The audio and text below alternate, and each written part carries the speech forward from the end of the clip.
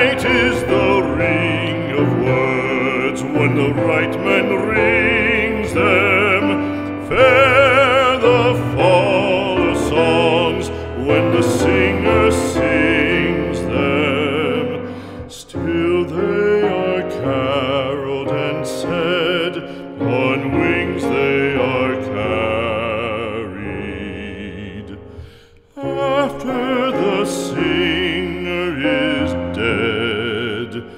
and the maker